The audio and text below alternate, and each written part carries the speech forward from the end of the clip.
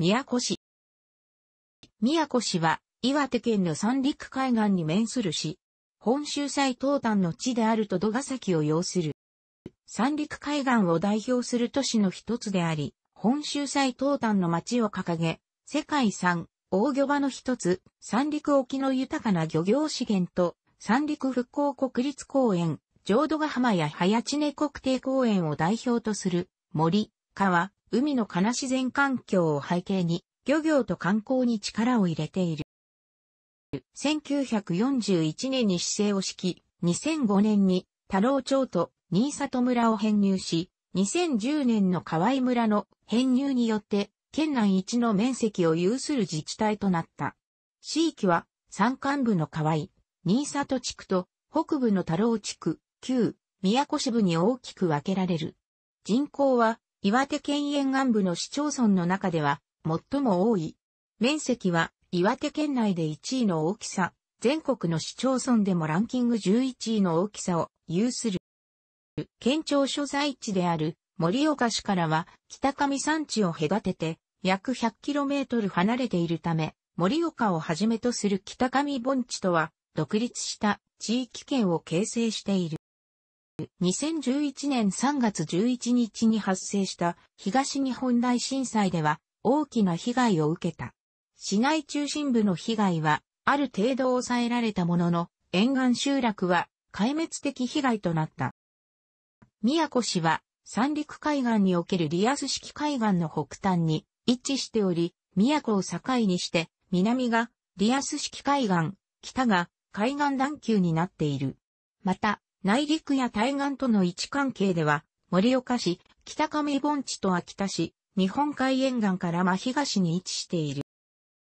2010年1月の河江村の編入により、市の面積は 696.82km から 1259.89km に拡大し、一関市を抜いて、岩手県の市町村で最大の面積を有することとなった。これは、東北では、鶴岡市に次いで2番目、全国でも11番目の大きさである。2011年現在しかしその8割は山林であるため、果樹地面積は約 117km と総面積の約9%に止まり、少ない平地に人家が密集している状態である。そのため、総面積あたりの人口密度は小さいものの、果樹地面積あたりの人口密度は約490人、キロメートルと県外平均を上回る。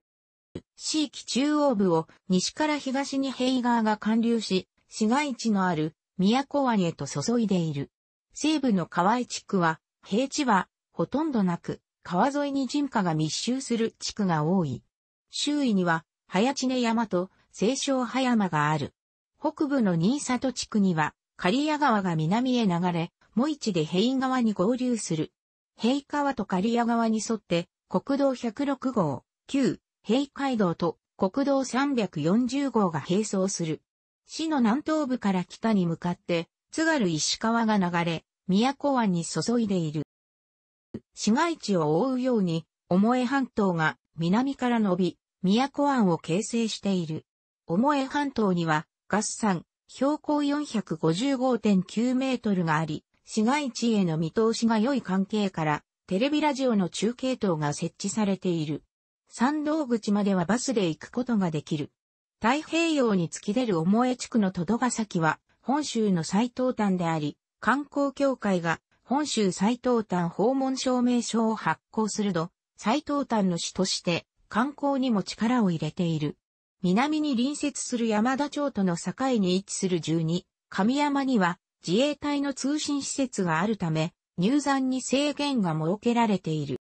花曲り酒が荒巻酒として正月に食される。以下の諸説がある。また、慶の、とと、道君維持の都を天皇から賜ったとする、泉式部や源義経に関連する伝説が存在する。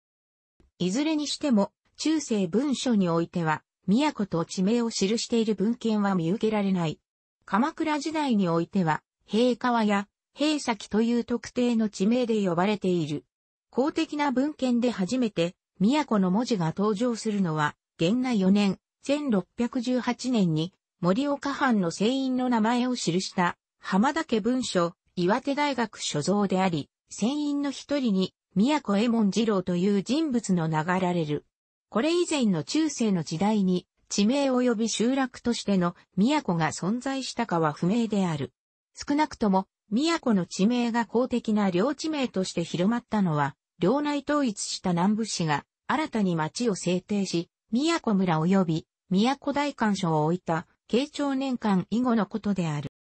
欠辺の気候区分では、温暖湿潤気候だが最暖月が22.2度と、日本ではかなり涼しく、西岸海洋性気候に近いような気候である。江戸時代初期に森岡藩主、南部都市直により、藩校として開かれると、都街道を通じて森岡城下と結ばれる藩の拠点となるとともに、三陸海岸の漁獲物などを江戸や上方へ移出し、また東回り海運の要所として発展した。明治時代になると、三陸汽船により、仙台、塩釜方面や北海道、東京とも結ばれ、山間部では、製紙業が勃興し、生産された生糸は、宮古港から横浜港へと出荷さ海外へ輸出された。昭和時代に入ると国鉄山田線の開通と、ラサ工業の進出により、近代港湾都市として発展。山間部では、平川筋の電力資源の開発に伴い、養業、工業、木材工業関連の企業が相次いで設立された。戦後高度経済成長期には、北洋漁業やサンマ漁船の基地として賑わった。また木材港の整備により、合板企業の集積が進んだ。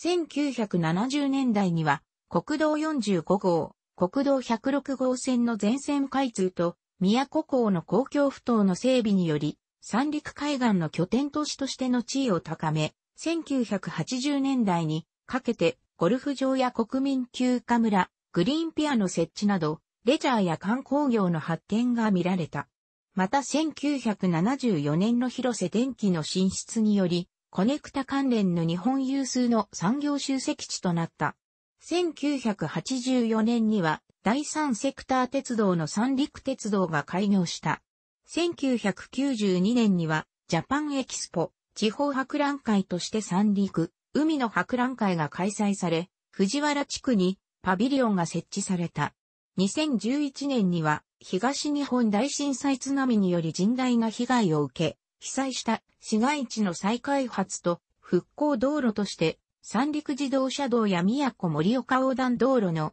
高速交通インフラの整備が進められている。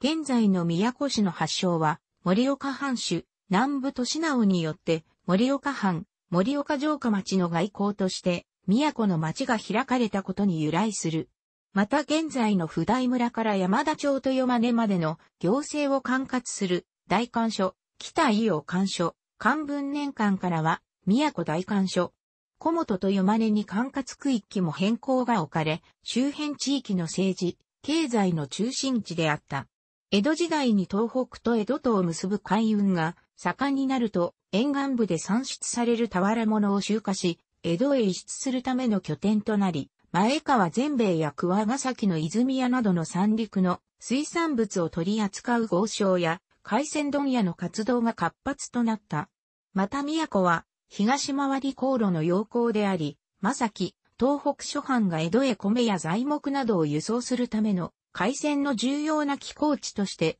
料亭や遊郭が軒を連ねる欧州でも、有数の商港として賑わった。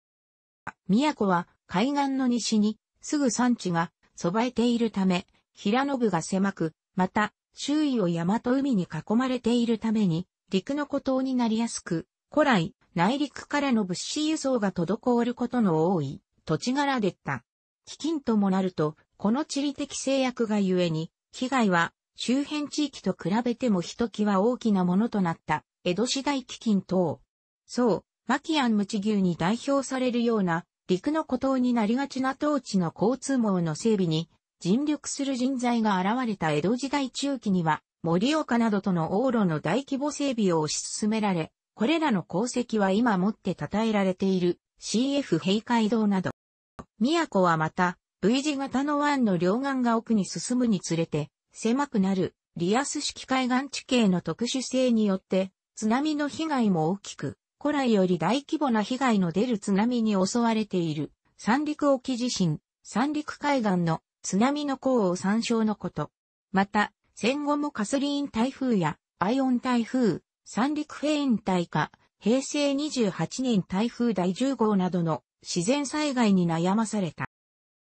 市内の遺跡からは、8世紀のものとみられる、わらび手刀や和道海鎮が出土しており、それまでは、スカ君、コマヒルのような、蝦夷の有力者が地域を治めていたと考えられている。9世紀初めの征夷大将軍坂上田村麻呂や、墳や渡麻呂による、蝦夷征伐は、平地方にも及んだ。しかしながら、鎮守府の置かれた、伊沢城の勢力下にあったのは奥六郡と呼ばれた、北上盆地周辺の地域がであり、北上山地を隔てた辺境の地である、平地方への影響力は少なかった。そのため11世紀後半になると、蝦夷の完全制圧を目指した御三条天皇により、源の来春、清原忠公が派遣され遠旧蝦夷合戦が開始されることとなる。そして、平七村山とは制圧されたと伝わる。これにより力をつけた出羽清原氏であったが内紛による後3年の役で滅亡。以後の統治は清原氏の養子で戦いに勝ち残った藤原清平に任せられるととなる。平泉に本拠地を移した清平は中尊寺根直道などを建立し、四代にわたる欧州藤原氏による統治が始まる。江戸期の森岡藩の文書、奥南落ち募集には、欧州藤原氏の配下に、平衛門太郎武国という武将の一族がいたと記している。源頼朝による平泉信仰、欧州合戦で藤原康平が倒されると、平地方は鎌倉幕府の御家人である平氏の領地となる。平氏は地頭として鎌倉時代を通して地域を支配し、兼務の申請後は鎮守府将軍北畠昭家から所領を安堵されている。平氏は南北朝時代には北畠昭家に従い、欧州武士団の一人として足利高氏らの軍勢と戦ったが、石津の戦いに敗れ敗走した。その後は北朝側に転じ、欧州総大将石頭義坊に従った。室町時代から戦国時代になると南部氏の勢力が進出し、南部下の武将、桜には三安らの攻撃を受けて、平氏系の一族は衰退していく。豊臣秀吉から領地を安堵された南部信直は、反乱分子であった久野辺正美を倒して、領内統治を進めていった。統治の有力豪族だった拓り氏や一個千、徳氏らもこれに従い、文禄の役に従軍した。その後、平地方の領地の一部は桜には、野田、奈良山市などの南部下の武将やその家臣に与えられ、支配された。慶長年間には、南部都市直に任命された、最初の都大官である、小本小吉が派遣され、以後、約260年の間、森岡藩の統治下となる。戊辰戦争では奥越列藩同盟に加わった森岡藩が敗れると、南部氏は仙台白石に転封、白石藩となり、平軍は松代藩の取締地となる。半年後、森岡に復帰した南部都市里は1870年、明治3年、廃藩置県に先立ち廃藩を願い出て、森岡藩知事を辞任した。その後、平軍は、江差県の管轄となり、江差県廃止後は、森岡県に編入される。森岡県は、その後岩手県と解消し、岩井県の一部を編入して、現在の形となる。江戸時代末期には、東北地方最大の一揆である三平一揆が勃発した。これは、森岡藩の失勢の付けを都をはじめとする平軍に対して重税を課して住民から搾取しようとしたことが直接の原因でり、話の流れ自体は平凡だが、非常に大規模な一揆であった。高下4年、1847年、圧政に耐えかねた一騎団は一万数千人という他に例を見ないほどの人数で党の城下に押しかけ、藩側に要求を飲ませた。ただし、藩側は後に、この要求も破り、さらなる人数での一騎へと発展する。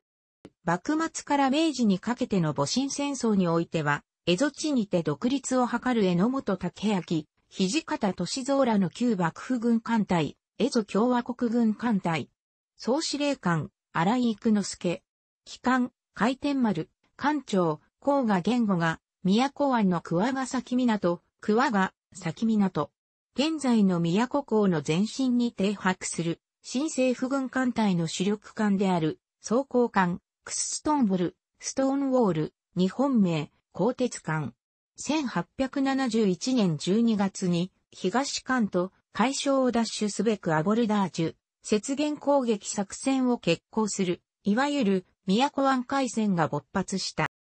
太平洋戦争末期の1945年8月9日、10日、宮古は、米第三艦隊の空母、エセックス及び、ランドルフの艦載機、F6F、TBF 等による空襲を受けた。ラサ工業宮古精錬所、道太郎鉱山、岩手洋業宮古工場、三井造船の木造船造船所、鉄道関連施設、湾内停泊中の輸送船、湾岸の倉庫群などが標的となった。特に藤原地区は倉庫内の燃料に引火し、燃え広がったため焼け野原となった。平成22年国勢調査から27年調査にかけての人口増減率は4.63%の減少で、岩手県全体の3.80%を少し上回った。なお平成の大合併以前の区分では、旧宮古市が東日本大震災に伴う津波で甚大な被を受けながら2.23%と、県全体を下回った一方で、同じく津波被害を受けた旧太郎町が26.27%と27年時点の自治体区分で、県内最大である大槌町の23.02%も上回る対照的な結果となった。また直接津波被害を受けていない旧河合村は10.62%と太郎町ほどではないにしろ大きく減少した。古来、水産業で栄え、特産品としては、鮭、イクラ、ウニ、アワビ、毛ガニ、ワカメなどが挙げられる。特に鮭やサンマ、マダラは全国屈指の水揚げを誇る。工業では、広瀬電機や関連企業などによる電子部品の製造、ラサ工業宮古工場によるガリウムの生成、製造とドーンクリー事業部による石油生成触媒の再生事業、片倉コープアグリ、宮古工場による化学肥料製造や北洋プライウッド株式会社による合板加工などが主産業である。宮古税関管内、宮古港の平成28年の輸出入貿易額は、輸出が387億9600万円で、ドイツやベルギー、アメリカ向けのポンプ、遠心分離機等の一般機械がその8割を占める。輸入は食料品や木材が多く、貿易額ではロシアがその半分を占める。平成26年の製造品出荷額は7475、1000万円で岩手県内で8位である。平成26年度の一人当たり市町村民所得は276万円。県調査統計下で復興需要により震災前より急上昇しており、県南を上回り、盛岡市などの県央部に匹敵する格になっている。BR 平成28年の観光客入り込み数は111万7932単位、人海、県観光統計概要で、県沿岸部の市町村ではトップの数字となっている。宮古市の東日本大震災による被害総額は2457億円と推計されており、このうち住宅被害が1496億円と全体の約61%を占めている。また市内では1078の事業所が被災し、業種別ではサービス業が547事業所51%、商業が334事業所31%、製造業125事業所12%などとなっている。公共の宿ホテル、ビジネス、旅館。漁港、太郎漁港と思え漁港は第2種漁港、他はすべて第1種漁港である。復興庁警察消防海上保安庁、防衛省法務省地方検察庁構成、労働省財務省、国税庁国土交通省、農林水産省林野庁環境省特殊法人、独立行政法人岩手県。テレビラジオ等、郵便局、簡易郵便局、岩手県立塗料高等学校の宮古分室が、宮古高校内に設置されている。宮古は、三陸沿岸の交通の一大拠点であり、陸路では、南の仙台、水戸方面、北の八戸、青森方面、西の盛岡、秋田方面を結ぶ要衝になっている。高規格幹線道路、一般国道自動車専用道路。楽しくご覧になりましたら、購読と良いです。クリックしてください。